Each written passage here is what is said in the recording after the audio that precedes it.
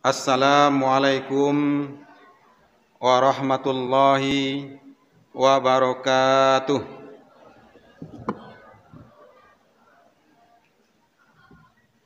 الحمد لله الذي أنزل القرآن في شهر رمضان هدى للناس وبينات من الهدى والفرقان.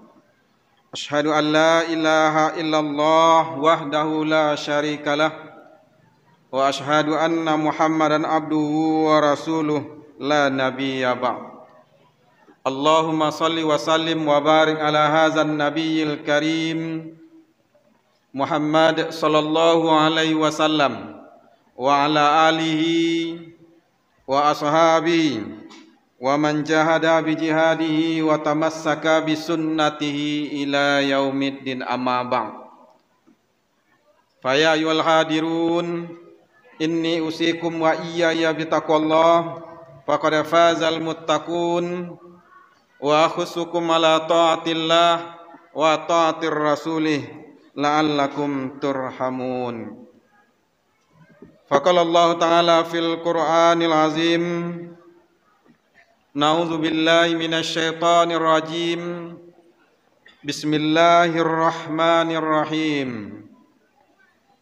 ومن آياته أن خلق لكم من أنفسكم أزواجا لتسكنوا إليها وجعل بينكم مودة ورحمة إن في ذلك لآيات لقوم يتفكرون Sadaqallahul azim.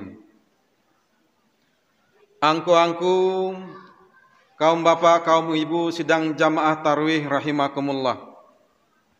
Kembali kita bersyukur kehadiran Allah Subhanahu wa taala karena berkat limpahan rahmat dan karunia-Nya kepada kita bersama sehingganya kita bisa melaksanakan siam di siang hari tadi dan insya Allah kita melaksanakan Qiyam Ramadan pada malam hari ini. Mudah-mudahan apa yang telah kita lakukan dan akan yang kita lakukan diterima di sisi Allah. Amin amin ya rabbal alamin. Kemudian salat bering salam tak lupa pula kita mohonkan kepada Allah semoga selalu tercurah buat Nabi kita Muhammad sallallahu alaihi wasallam Allahumma salli ala Muhammad wa ala ali Muhammad. Beliau merupakan uswah dan kudwah kita, ikutan kita, contoh suri toladan kita di dalam menjalani hidup dan kehidupan ini. Angku-angku, bapak-bapak, kaum ibu sedang jamaah tarwih, rahimakumullah. Judul dari pembahasan kita malam ini adalah keluarga sakinah. Ini merupakan judul yang sangat berat dan sangat menarik. Kenapa dikatakan menarik? Karena kita sedang menempuhnya dan akan menempuhnya. Bagi kita yang sudah berumah tangga, kita akan berusaha semaksimal mungkin untuk mengarah kepada yang demikian dan bagi yang belum berumah tangga, anak-anak kami, tiba waktunya, saatnya dia akan juga menempuh kondisi berumah tangga tersebut. Kaum muslimin sidang jamaah rahimakumullah. Di samping itu, kita juga ingin sampaikan kepada kita bersama, ketika kita membahas masalah sakinah di dalam keluarga, ini semua kita sedang proses perjuangan mengarah itu semua. Jadi kalau seandainya bagi penyampai sendiri nanti kita sama-sama berjuang. Kita belum sempurna, banyak hal yang perlu kita perbaiki, banyak hal yang kita harus sempurnakan, lakukan untuk kita mengarah kepada menjadi keluarga yang sakinah, mawaddah, warahmah tersebut. Dasar kita pada malam ini adalah firman Allah dalam surat Ar-Rum ayat yang ke-21.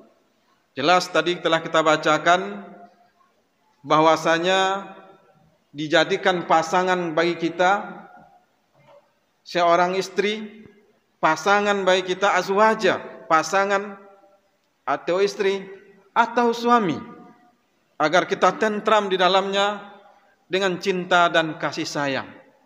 Kaum muslimin sidang jamaah rahimakumullah. Ketika kita membahas masalah sakinah, mawaddah, warahmah, ada tiga kata yang ada di dalamnya. Ada sakinah, ada mawaddah, ada rahmah. Menurut Ummu Zahrani dalam bukunya Surgaku, Suamiku, Surgaku menjelaskan kata-kata sakinah itu bermakna tenang, tentram, damai, tidak ada perselisihan di dalamnya. Kemudian kata mawaddah itu sesuatu yang didasari oleh sebuah kecintaan, ada cinta di dalamnya. Kemudian rahmah, ada kasih sayang di dalamnya.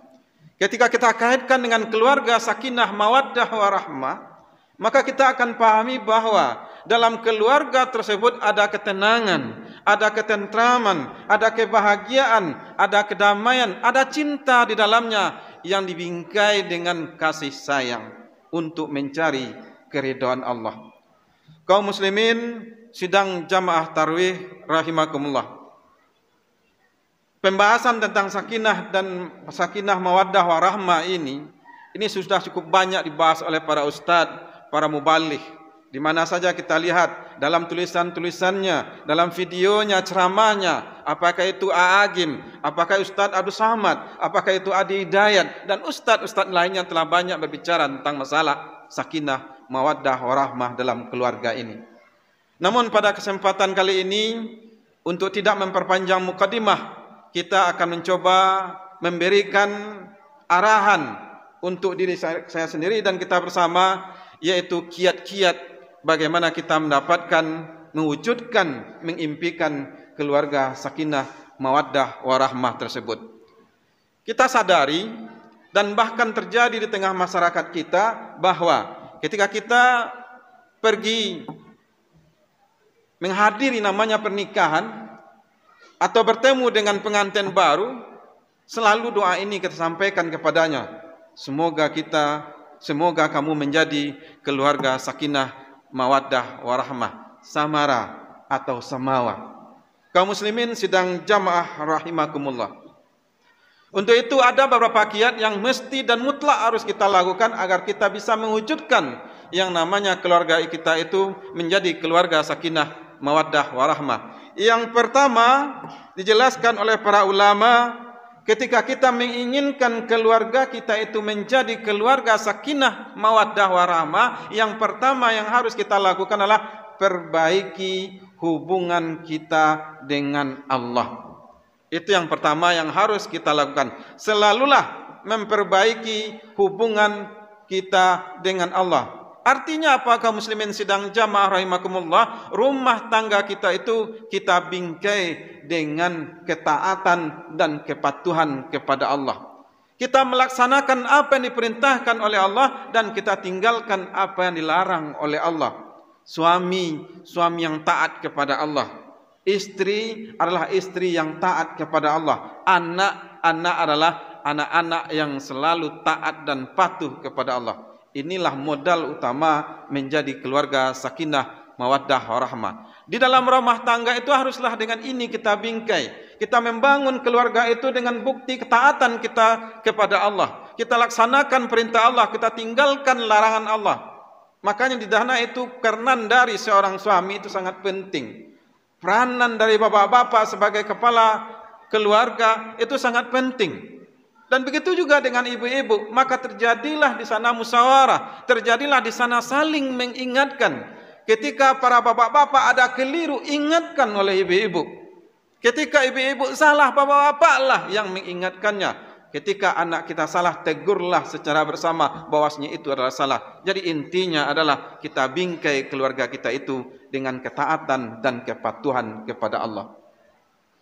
Di dalam ayat dijelaskan wal yahsal ladzina law taraku min khalfihim zurriyatan diafa. Hendaklah kamu khawatir dan takut meninggalkan anak cucu di belakang kamu keturunan kamu dalam keadaan lemah.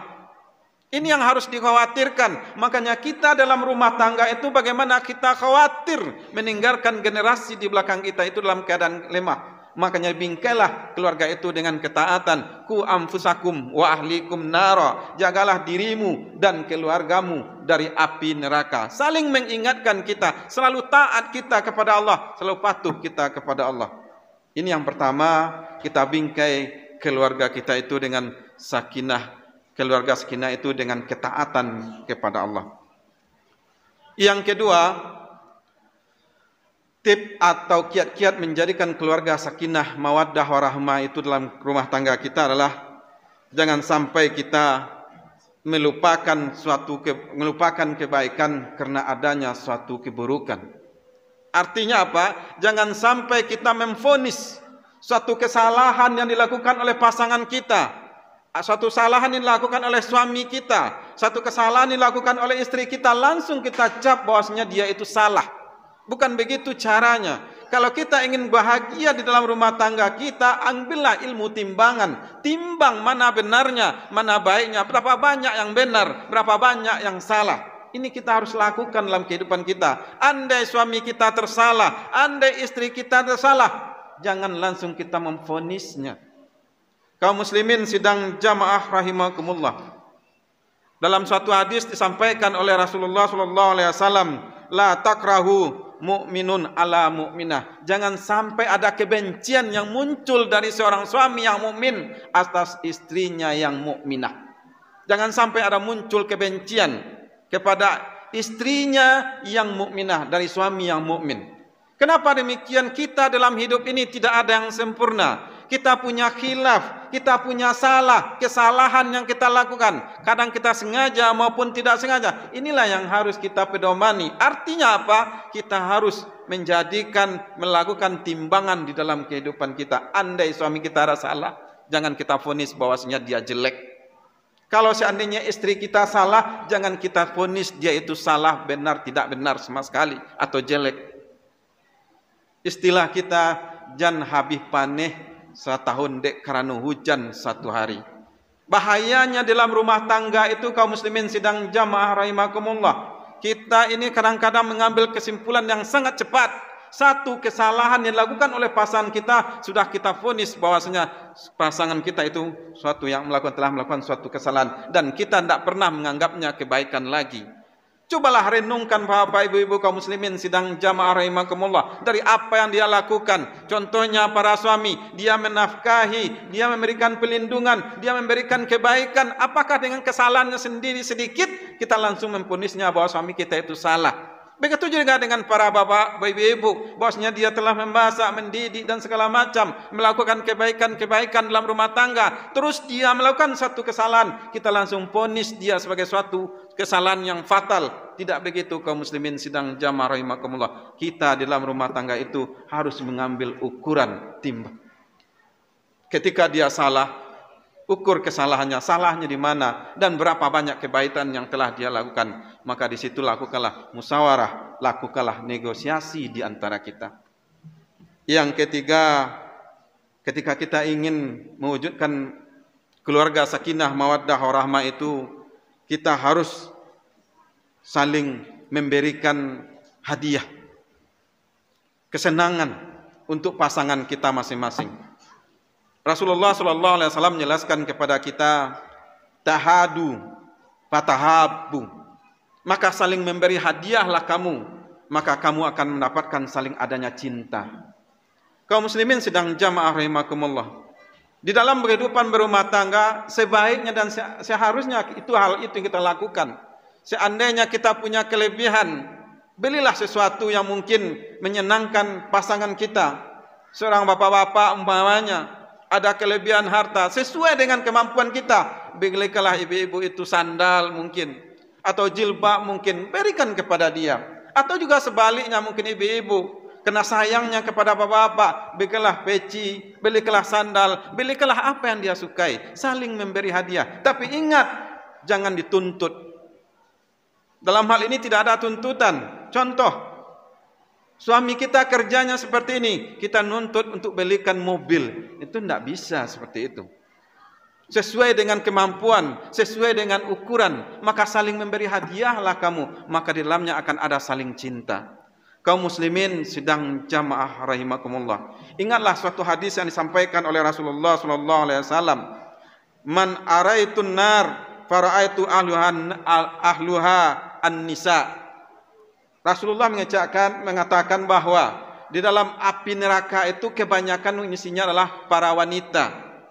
Lima ya Rasulullah kata para sahabat. Kenapa terjadi yang demikian kata Rasul kata kata sahabat kepada Rasulullah? Yakfurna billah. Pertama adalah orang-orang yang kafir, orang-orang yang engkar kepada Allah. Yang kedua, yakfurna bil asir. Dia itu mengingkari kafir, engkar, tidak patuh kepada pasangannya. Kepada orang yang pasangannya itulah suaminya. Kenapa di dalam neraka itu banyak penduduknya adalah neraka di dalam neraka itu penduduknya adalah wanita. Salah satu penyebabnya adalah karena para wanita itu banyak dan sering melawan mengingkari atau mendurhakai kepada suaminya. Akan tetapi juga dalam sebaliknya dikatakan oleh Rasulullah sallallahu alaihi wasallam ketika seorang istri meninggal dan suaminya ridho dengan kepergiannya, dengan meninggalnya itu, maka dikatakan seorang istri itu dakhalal jannah. Begitu juga sebaliknya. Maka dia akan masuk langsung ke dalam surga. Begitulah makanya Rasulullah mengatakan kepada kita, andai di dunia ini bisa makhluk untuk bisa menyembah kepada makhluk yang lain, sudah aku perintahkan kata Rasulullah seorang perempuan itu untuk sujud kepada suaminya. Tapi karena tidak boleh, tidak bisa seorang makhluk itu sujud kepada makhluk yang lainnya, maka itu tidak dilakukan. Begitu besar posisi dan peranan seorang tak suami di dalam rumah tangga. Kaum muslimin sedang jamaah rahimakumullah, selalulah memberikan hadiah, selalulah memberikan hal-hal yang mungkin kecil tapi itu menyenangkan bagi pasangan kita masing-masing. Berikanlah sesuatu yang dia senang, berikanlah sesuatu yang dia senangi. Sehingga dalam kehidupan dia selalu menimbulkan kasih sayang di antara kita. Kemudian yang terakhir yang harus kita lakukan di dalam membina keluarga sakinah, mawaddah, warahmah itu adalah kita jalankan tugas dan tanggung jawab kita masing-masing sesuai dengan posisinya masing-masing juga. Kewajiban seorang suami lakukanlah sesempurna mungkin.